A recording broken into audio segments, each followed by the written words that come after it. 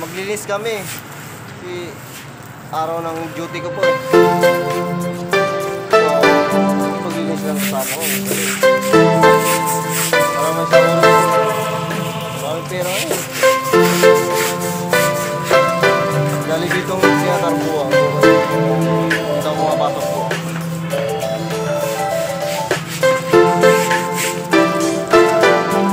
Ano tawag ka? Chicago.